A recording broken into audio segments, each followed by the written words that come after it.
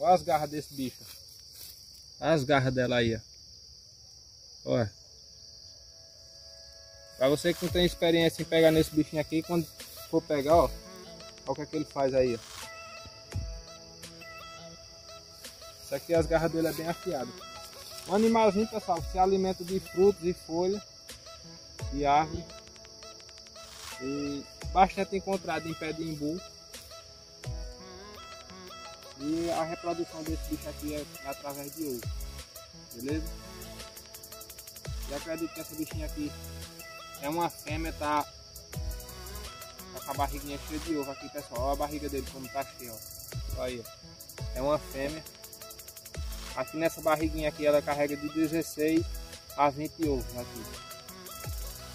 Quando ela tá na fase de procriação aí, ela procura buraco de formigueiro na maioria das vezes quando ela não encontra, ela mesmo ela cava o seu buraco no chão aí faz sua moradia para pôr os ovos.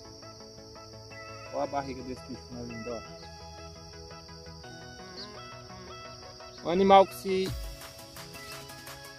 defende aí através de picotada com esse rabão dele aí, com essa cauda.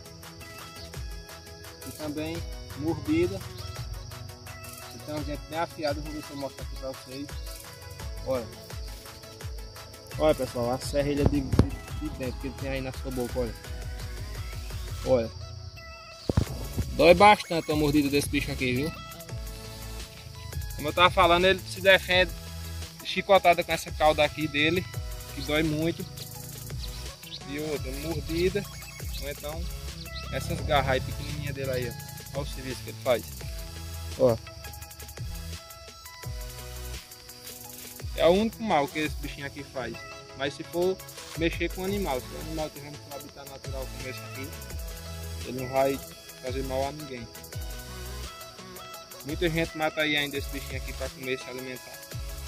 Coisa que muita gente não tem precisão mais, pessoal. Que a carne hoje em dia está tão muito cara, mas tem outras formas de sobreviver. Não é preciso matar um bicho desse aqui para se alimentar não. Ó, que lindo. Esse aqui tá com a barriguinha desse jeito aqui, pessoal, porque ele é uma fêmea, olha. Tá quase botando seus ovos aí no lugar seguro para eclodir. Olha. Se aquietou, tava bem estressado. Olha a tonalidade de cor das mãos desse bicho, olha.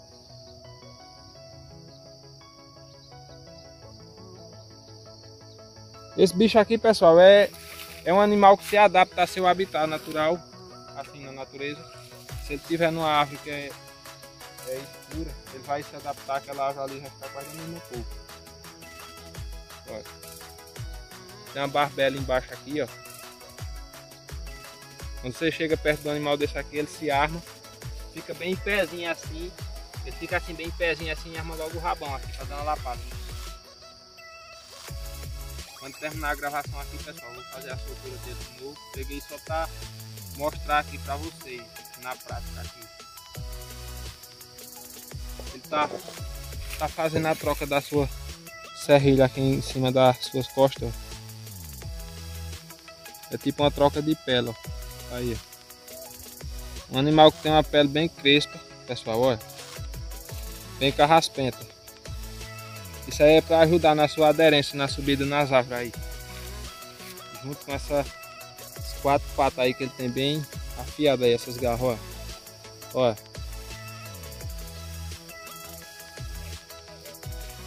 Um animal que não oferece risco a ninguém, pessoal. A não ser que você não tenha conhecimento, vai pegar um bicho desse aqui, como eu peguei aqui. Se for pegar logo de, de cara assim, ele vai dar uma chicotada boa em você, ou então de rasgar todinho morder você. Mas pelo contrário, deixa o animal na natureza aí que ele não oferece você, beleza? Aí é assim que os ovos nascem, pessoal, os bichinhos já, já seguem a natureza, já, já começam andando já.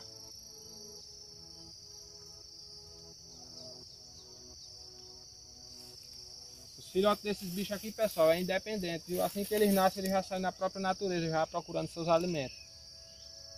Eu vou deixar ele seguir aqui de novo. Olha pessoal, como é lindo, ó, ver o animal voltando para a natureza, olha.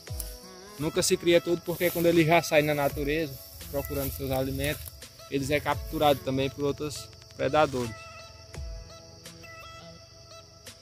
De uma ninhada dessa aí de 20, de 16 a 20, geralmente escapa 7, 8, até menos do que isso. Valeu pessoal, esse foi mais um vídeo do Admirador dos Animais. Até o próximo.